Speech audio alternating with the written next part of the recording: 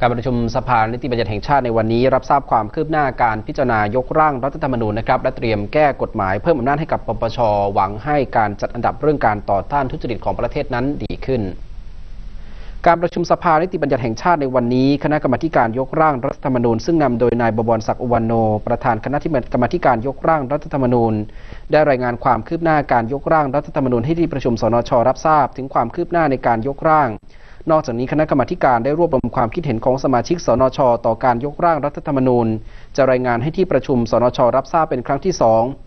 โดยนายกล้านรงจันทิกในฐานะรองประธาน คณะกรรมาการจะเป็นผู้รายงานใน 3 ส่วน คือ 1. ส่วนที่สมาชิกเสนอความเห็น 2. ส่วนที่ได้สังเคราะห์แล้ว 3. เนื้อหาที่คณะรวบรวมความเห็นเท่านั้น และขอขยายเวลาการทำงานออกไปอีก 90 วัน โดยเห็นว่ารัฐธรรมนูญฉบับใหม่ควรมีไม่เกิน 400 มาตรา เนื้อหาต้องสั้น ส่วนรายละเอียดให้ไปกำหนดในกฎหมายลูกแทน นอกจากนี้ที่ประชุมสนช จะมีการพิจารณาร่างแก้ไขพรบที่สำคัญ คือร่างแก้ไขพรบประกอบรัฐธรรมนูญว่าด้วยการป้องกันและปราบปรามการทุจริตแห่งชาติหรือปปช เพื่อให้สอดคล้องต่ออนุสัญญาสหประชาชาติว่าด้วยการต่อต้านการทุจริต ที่แก้ไขเพิ่มอำนาจให้คณะกรรมการปปช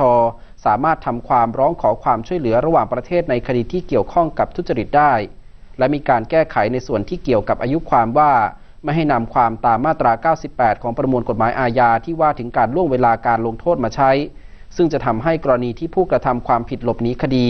จะไม่ถูกนำไปหักออกจากอายุความ ผู้สื่อข่าวรายงานด้วยว่าในที่ประชุมวิปสนช ยังได้เสนอให้ที่ประชุมสนช พิจารณาร่างแก้ไขประมวลกฎหมายอาญา ในส่วนของภาพอนาจารเด็ก ตามที่สมาชิกสนช ได้เข้าชื่อการเสนอ ที่จะระบุชัดเจนว่าห้ามครอบครองภาพนิ่ง หรือภาพเคลื่อนไหวของเยาวชนที่กำลังมีกิจกรรมทางเพศโดยหรือไม่ หากเห็นชอบก็ต้องส่งให้คณะรัฐมนตรีพิจารณาภายใน 20 วัน ก่อนจะส่งกลับมายังสนช พิจารณาวาระแรกต่อไป ทางนี้เพื่อเป็นบรรทัดฐานสำหรับการทำหน้าที่ผ่านกฎหมายของสนช ในอนาคต ที่สนช จะทำการเสนอเอง หรือเสนอโดยสปช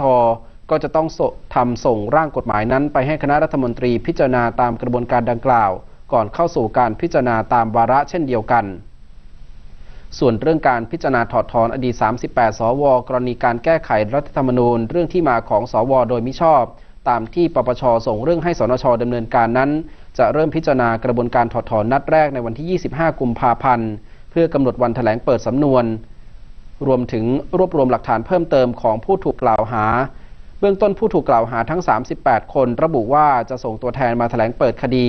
ซึ่งทางสนชก็จะเปิดโอกาสให้ทุกคนได้แถลงอย่างเต็มที่